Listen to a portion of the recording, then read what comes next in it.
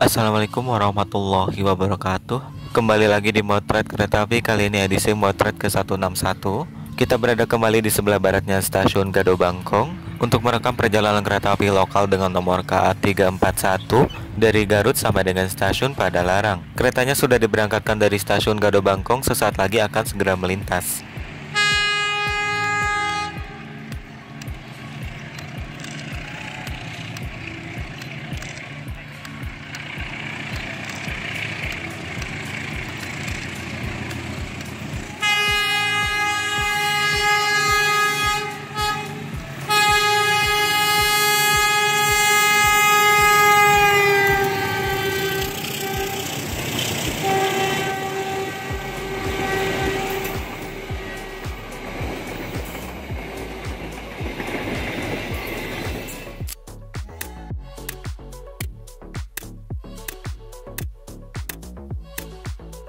Di momen ini kita mendapatkan 10 capture foto dan akan memilih capture terakhir sebagai foto utama.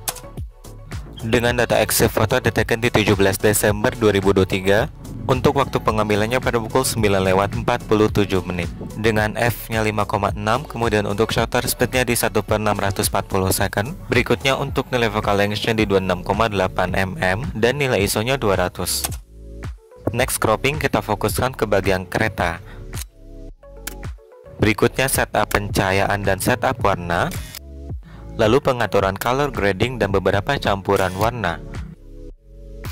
Setelah itu customize watermark lalu diekspor fotonya sampai selesai. Oke berikut hasil fotonya.